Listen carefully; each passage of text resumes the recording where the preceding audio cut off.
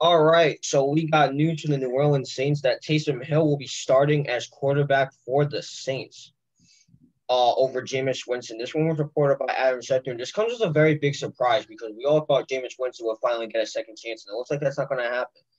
Uh, as for Taysom Hill, though, he took uh, he took all the starter reps at practice this week, and a source told ESPN's Dianna Russini that Winston will not be a part of any offensive packages unless needed because of injury, meaning that if Taysom Hill gets injured, that's when he's probably going to end up being played for. Um, this is this is this comes as a surprise to you and me, Mark. We all said Jameis Winston would get a second chance and at least prove that you know he's not a bad quarterback. What do you think of this? Um, yeah, I mean it's it's tough, you know. I mean, it's been tough for Jameis Winston. It has. Uh, Taysom Hill has been on this roster though for like he's been on the roster longer than Jameis Winston, yeah. so maybe that's a factor.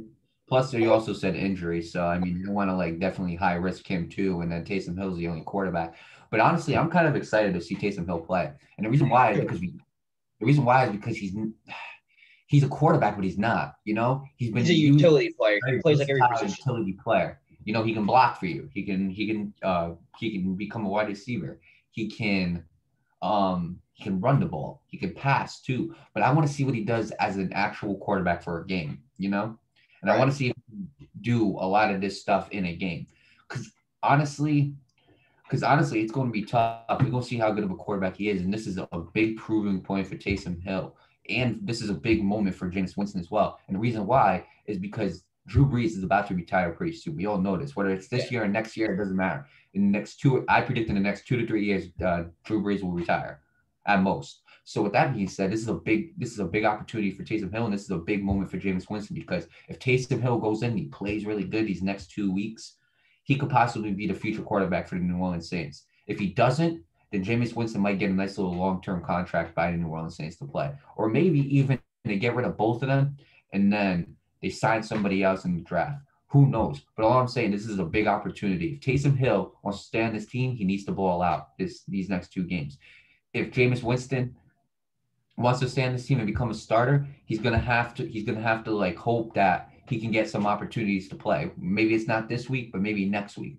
But honestly, this is a big QB situation that the Saints have on their hands, and it's been a big QB situation for the past two week, uh, past two years. Because you remember last year when um, Drew Brees got hurt, Teddy Bridgewater won like, like over, yeah, right. So there was that, and then there was Taysom Hill, and the question was, who are they going to keep?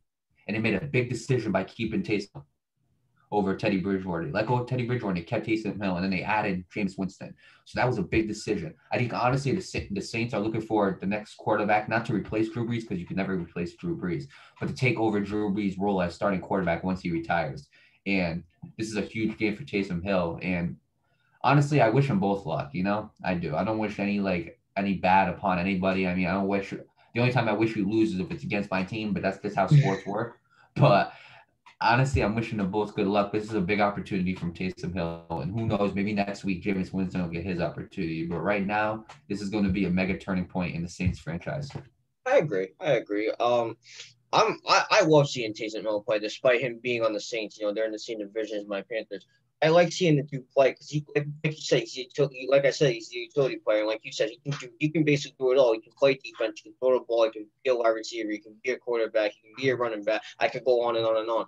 But you know, but the thing with Taysom Hill is that he's not he's not used to playing one one single position in an entire game. So I'm pretty excited to see how that goes because again, this is the first time for him. You know, like I said, it's the first time for everything. So like, you know, you can't necessarily say for sure how good or bad he's gonna do. With that said though, again, you know, it's pretty exciting to see, you know, what he's what he's gonna be capable of doing you know, obviously, like like we all said, you know, we all know that he's a utility player. He does everything. Um, i am I'm, I'm still pretty shocked that Jameis Winston isn't starting, which is, comes as a surprise to a lot of people. Um, but I just I like you said, I wish them both luck. Um, and I just I just want to see this kid ball. I want to see what he's able to do.